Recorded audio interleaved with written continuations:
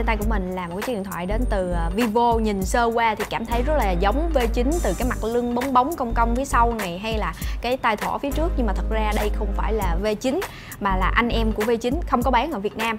À, chiếc máy này xuất hiện sale đường sách tay đó là Vivo X21 UD à, mình sẽ gọi tắt là X21 đặc điểm lớn nhất của chiếc X21 này so với những cái chiếc Vivo khác và so với V9 tại Việt Nam đó chính là cảm biến vân tay dưới màn hình.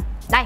Tuy nhiên thì cái cảm biến này nó chỉ tại một vị trí thôi chứ không phải là toàn bộ màn hình. Cho nên khi mà các bạn tắt máy rồi thì trên màn hình nó vẫn sẽ hiển thị một cái vị trí của cảm biến vân tay để các bạn có thể biết mà chạm vào, chứ không thôi mò trên đây biết chỗ nào mà rờ. Nhưng mà các bạn cũng yên tâm là mình đã thử rồi khi mà các bạn không dùng. Đó thì sau một thời gian cái cảm biến vân tay này nó sẽ tự tắt chứ không phải lúc nào nó cũng hiển thị trên màn hình của mình. Để đánh giá về cái cảm biến vân tay dưới màn hình này thì theo mình á, là nó làm cho cái máy của mình nó trở nên độc độc thôi. Chứ còn xét về cái mức độ thuận tiện, nhanh thì nó vẫn sẽ thua cái cảm biến vân tay bình thường khi mà có hẳn một cái nút bấm hay là đặt ở phía sau lưng. Bởi vì khi đó thì các bạn chỉ cần chạm một cái thôi thì nó sẽ mở, còn cái này nếu mà các bạn chạm là nó sẽ không thể nhận được cảm biến mà các bạn phải ấn xuống một cái và rõ ràng như vậy thì nó sẽ chậm hơn. Kể cả khi mà các bạn nhập dấu vân tay vào cũng vậy. Chạm nhẹ thì không nhận diện được mà chúng ta phải ấn mạnh.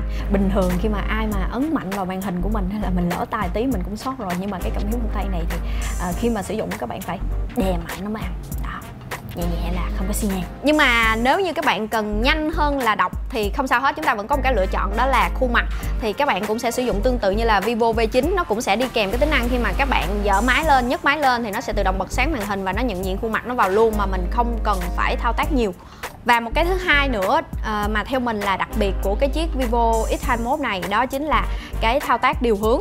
Tương tự như là những cái chiếc máy Android tay thỏ gần đây thì nó cũng sẽ cho phép các bạn ẩn ba phím điều hướng đi và mình sử dụng cái cử chỉ vuốt từ dưới màn hình lên để thay thế. Nhưng nó có thêm một cái nữa rất đặc biệt, tương tự như iPhone 10 luôn, đó là khi mà các bạn vuốt ngang ở cạnh dưới này thì nó sẽ chuyển đổi giữa các app với nhau. Và cái này thật sự nó rất là tiện lợi để mình có thể chuyển đổi nhanh giữa các app hay là các bạn cần so sánh cái gì đó.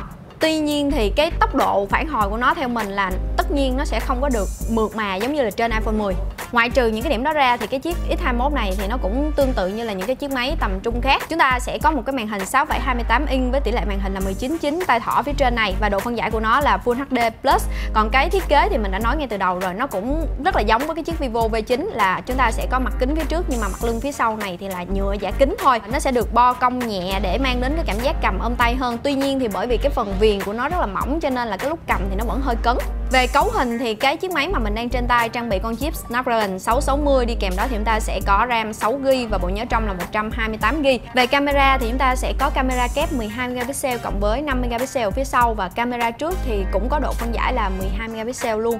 À, đi kèm đó thì sẽ có rất là nhiều những cái tính năng như là làm đẹp khuôn mặt rồi chụp chuyên nghiệp đồ các thứ. Và tất nhiên là cái camera sau có thêm một cái camera phụ thì nó sẽ hỗ trợ các bạn chụp ảnh xóa phông. Cuối cùng thì à, cái máy này sẽ sở hữu một viên pin 3200 mAh và có hỗ trợ sạc nhanh. Tóm lại thì à, cái điểm đặc biệt nhất của cái máy này là cảm biến vân tay dưới màn hình và các bạn có thể vuốt ngang để chuyển đổi giữa những cái ứng dụng nhanh chóng. Chiếc máy Android hiếm hoi mà có thêm cái tính năng này. À, trước đây thì mình chỉ thấy nó trên iPhone 10 thôi. À, cảm ơn các bạn đã theo dõi video.